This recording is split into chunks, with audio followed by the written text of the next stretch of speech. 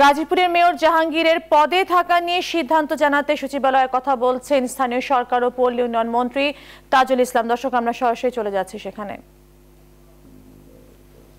কেউ কেউ অভিযোগ করেছেন যে তাদের সেখানে অবকাঠামো ক্ষতিপূরণ না দিয়ে নির্মাণের ব্যবস্থা, জোর জবরদস্তি করা। তো এই সমস্ত অভিযোগগুলো, অনেকগুলো অভিযোগ আছে। সম্প্রতি তার বিরুদ্ধে আরেকটি অভিযোগ আমরা সামাজিক সব মিডিয়াতেও আসছে। এবং উনি আমাদের স্বাধীনতা নিয়ে, বঙ্গবন্ধুকে নিয়ে কটূক্তি করেছেন। এই ধরনের কোনো অভিযোগ আপনারা পেয়েছেন কিনা এবং সে বিষয়ে সর- সরকারিভাবে কোনো সিদ্ধান্ত নিচ্ছেন না, জাতির জন্য বঙ্গবন্ধু শেখ মুজিবুর রহমানকে নিয়ে বাংলাদেশের কোনো নাগরিক, সে যে হোক না কেন, কথা বলা অত্যন্ত দুর্ভাগ্যজনক এবং দৃষ্টতাপূর্ণ আচরণ। তো এটাকে একজন নাগরিক হিসাবে আমি ঘৃণা করব। এবং এদেশের একজন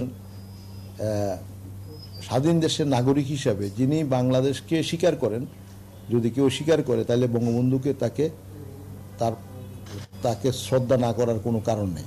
যারা বঙ্গবন্ধুকে শ্রদ্ধা করবেন না, এবং মনে প্রাণে বঙ্গবন্ধুকে বঙ্গবন্ধুর মহান ত্যাগের প্রতি আস্থা, বিশ্বাস, শ্রদ্ধা থাকবে না, তো সে তো বাংলাদেশকে স্বীকার করে না। তো তো সে কারণে আমি আমরা তো সবাই জানি এটা আপনারাও জানেন যে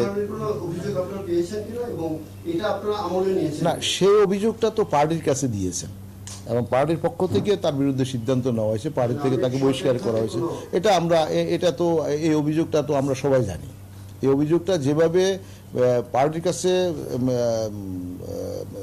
আপনার দেওয়া হয়েছে ঠিক একইভাবে আমরাও জানি এ বিষয়ে কিন্তু এখন তাকে এখন তাকে বলছি জাতির পিতা বঙ্গবন্ধু শেখ মুজিবুর রহমান তো কোনো দলের নয় উনি আমাদের অবশ্যই।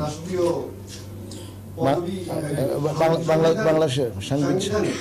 সেই অর্থে তাকে নিয়ে যে মন্তব্য করা হয়েছে সেটাও আপনারা এই তাকে বরখাস্ত করার জন্য কোনো আমলে নেবেন কিনা আম- আম- আমরা বঙ্গবন্ধুকে আমাদের আইন অনুযায়ী আমাদেরকে সিদ্ধান্ত নিতে হয়।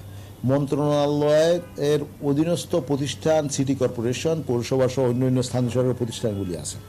এবং সেই প্রতিষ্ঠানগুলার দায়িত্বরত কোনো ব্যক্তি যদি তার দায়িত্ব পালনে কোনো গ্রহিত কাজ করেন অথবা যে সমস্ত বিষয়গুলা তিনি করতে গিয়ে কোথায়ও কোনো রকম জনকল্যাণকর কাজের সাথে সম্পৃক্ত হয়।